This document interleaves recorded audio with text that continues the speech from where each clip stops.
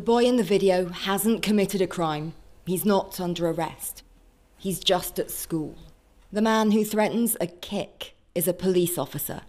The child is 10 and autistic. He should be in jail. He really should. I am so angry. I can't believe the footage. How dare he?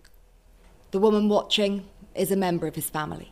Do you know what? I'm angry, but I'm saddened as well. The training should be there for this sort of stuff because these children are getting let down, especially by the justice system.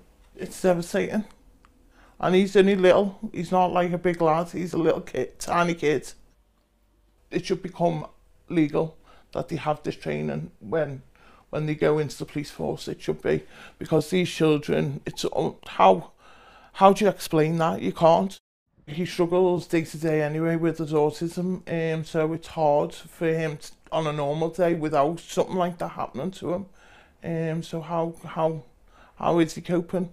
Because he's not spoke about it, he's not told nobody nothing. It's it's all inside and it's mental frustration. So he's gonna explode at some point, but we've all just got to be there and wait for it.